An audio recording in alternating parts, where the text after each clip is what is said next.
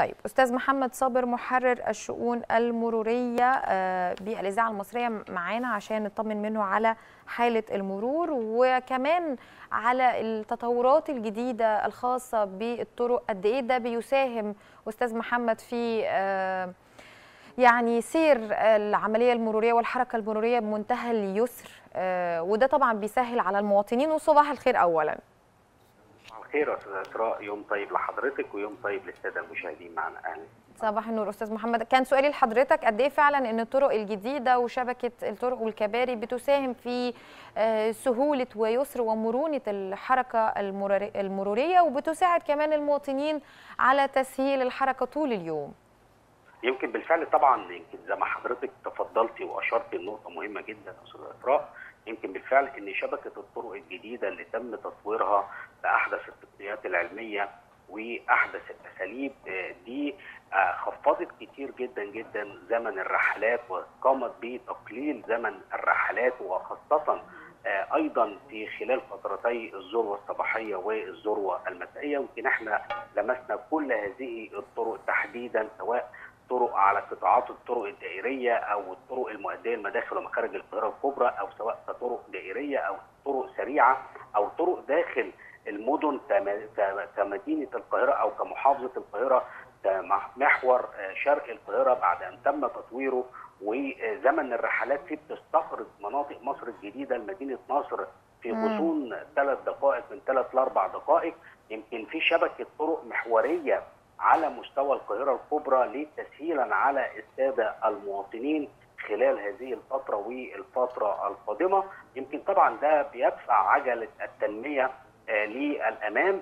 يمكن طبعا عايز أقول لحضرتك برضو بالنسبة بقى النهارده للحركة المريه معدلات السير بصفة عامة كانت بتبقى فترة الذروه الصباحيه كانت بتبقى أعلى من معدلاتها. النهارده فترة الذروه الصباحيه بعد تطوير شبكة الطرق بالكامل أصبحت في انخفاض في معدلات السير بصفة عامة نتيجة تسهيلات هذه الطرق على السادة المواطنين. أصبحت يمكن وأنا بكلمك النهارده أستاذ إسراء معدلات السير بصفة عامة النهارده يمكن بتتجاوز ما بين ال 55 ل 60% كافة محافظات الوجه البحري جميعها النهارده الحركة المرورية فيها مرضية تماما.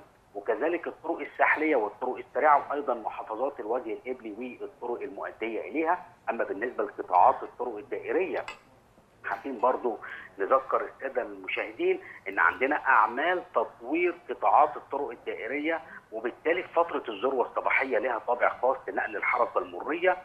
في خطة موضوعة من قبل الإدارة العامة للمرور بإشراف السيد اللواء محمود عبد الرازق مساعد أول وزير مدير الإدارة العامة للمرور اللي وجه بنشر الخدمات المريه أثناء فترة الأعمال ووضع العلامات الإرشادية أمام قائدي السيارات من أهم هذه الأماكن اللي بتشهد بعض الأعمال هي أعلى منطقة الكنيسة وكذلك أعلى منطقة البساتين وأعلى منطقة بسوس وأيضا بعض بعض الأعمال المتفرقة على قطاعات الطرق الدائرية اللي وشك الانتهاء منها خلال الفترة القادمة إن شاء الله تيسيرا على السادة المواطنين. حابين برضو نطمن السادة المشاهدين إن عندنا بالنسبة لمحور 26 يوليو الأحجام النهارده بتنحصر أقل من معدلاتها أعلى منطقة ناهيه اللي جاي من مناطق مدينة 6 أكتوبر والشيخ زايد ونازل على ميدان لبنان. وما بننصحش بتغيير أي مسارات نتيجة إن على وشك انتهاء فترة الذروه الصباحيه محافظة الجيزة كافة المحاور الداخلية فيها النهارده يمكن ما زالت بتعمل بشكل مرضي وشكل طبيعي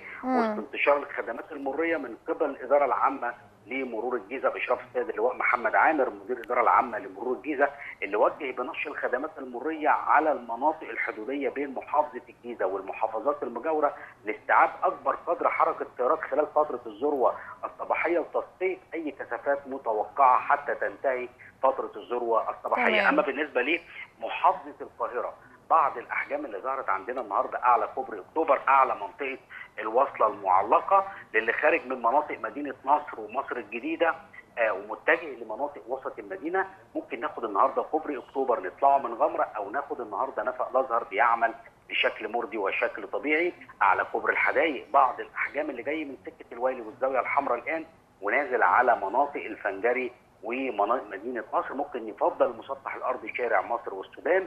بعض الأحجام أيضا في محور جوزيف تيتو نتيجه إن في إنشاء كوبري سيارات في الاتجاه القادم من مناطق الحرفيين ومتجه للكلية الحربية وأيضا متجه لمحور صلاح سالم. وبنذكر السادة المستمعين برضو السادة المشاهدين عفوا إن عندنا في أعمال تطوير في منطقة شارع أفريقيا مع شارع الطيران وهو إنشاء كوبري في هذه المنطقة تحديدا بيفضل سلوك محور النصر أو زكي حسين أو أحمد الزمر أفضل حالا. باقي الكباري اللي بتنقل الحركة المرية ما بين القاهرة والجيزة جميعها النهارده بتعمل بشكل مرضي وشكل طبيعي وكافة المحاور الحركة المرية فيها مرضية. تمام. أستاذ محمد كلمني على توجه الدولة لتغيير السيارات من استهلاك البنزين إلى الغاز. يعني الناس بتبقى قلقانة تقول لك طب ده هيتم إزاي؟ طب ده هيتم تطبيقه إمتى؟ يعني كلمنا عن الموضوع ده. يمكن إحنا في منظومة بتعمل على قدم وساق وذلك للتطوير. زي ما حضرتك عارفة التطوير ده هيساهم أيضا في الحد من التلوث البيئي هيساهم أيضا في عملية الإحلال والتجديد اللي هتتم خلال الفترات المقبلة إن شاء الله. وده دوت يأتي في اولا الهدف منه هو الحد من التلوث.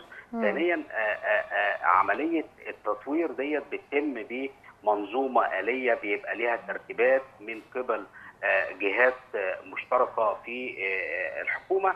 عايز أقول لحضرتك إن بيتم الاستيعاب السيارات دي أو بيتم تطوير وحدات الترخيص الآن على كافة محاور الجمهورية لاستيعاب هذه السيارات أثناء عملية التطوير والاحلال يمكن برضه هنتكلم النهارده برضه إحنا متعودين برضه نتكلم مع حضرتك وزير الإسراء على عملية التطوير زي ما حضرتك بتبرزي أعمال التطوير. يمكن النهارده خلينا برضه نتكلم على وحدات الترخيص وإيه اللي بيتم فيها وإيه اللي التطويرات اللي بيتم فيها.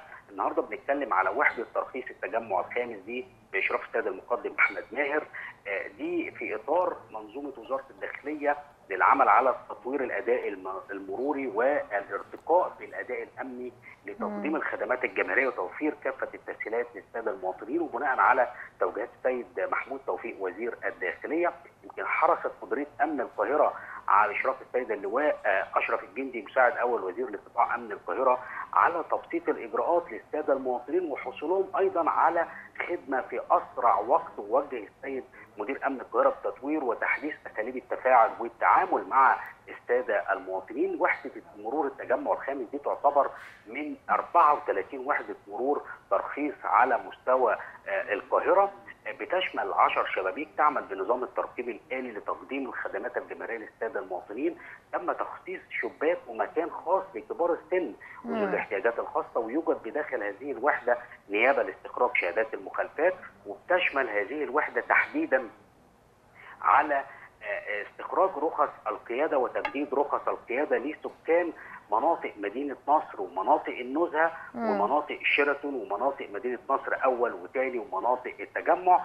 آه تم تخصيص أو أو تحديدا آه بيتم يوميا العمل فيها من الساعة 8 صباحا وحتى الخامسة مساء وتوجد ساحة متطورة لاختبار القيادات ولوحة مستحدثة لاختبار الإشارات والعلامات الضوئية وتم آه تخصيص مكان مخصص لذوي الاحتياجات الخاصة والكبار السن للتاثير على المواطنين. برضو حابين برضو نوضح نقطة مهمة جدا من خلال حديث أستاذ إسراء إن في ضوء توجيهات الدولة ل أو تحديدا لوضع الوقائي خلال هذه الفترة. السيد العميد خالد شوقي مساعد مدير مرور القاهرة لشؤون التراخيص بيقوم بعمل جوله تفقديه يوميا لاستخراج هذه أو أو أو أو تحديدا لتطبيق هذه الإجراءات على كافة الوحدات من كمامات للسادة المواطنين ارتدائهم كمامات أثناء تعاملهم مع